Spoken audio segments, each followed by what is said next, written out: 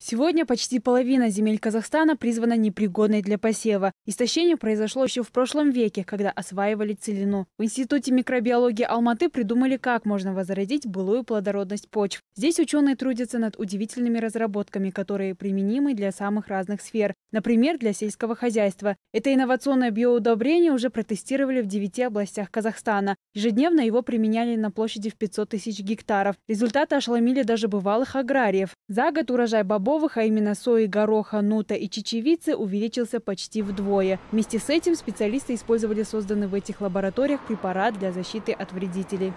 Вот есть люцерна такая кормовая, кормовая культура, которую в Казахстане общее сложенство у них, значит, около миллиона гектаров имеется.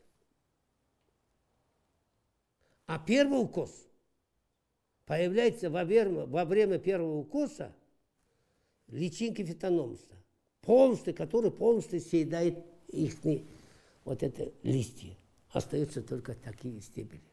Ну, у нас есть против этих, значит, насекомых, значит, вредителей препарат, тем более не химический препарат, а биологический препарат. Беспокоит ученых и прибрежная зона Каспия. Специалисты трудятся над разработкой, которая поможет уменьшить разлив нефти в море при транспортировке. Но пока это незавершенный проект. А вот идея, которая уже реализована и приносит плоды – биодобавка для консервирования корма для скота. Сено, собранное летом, прекрасно сохраняет свои полезные качества, если хранить его при помощи чудо-препарата. Работают здесь и специалисты по фармацевтике. Они создали противогрибковую мазь, которая вполне может составить конкуренцию дорогостоящим зарубежным препаратам.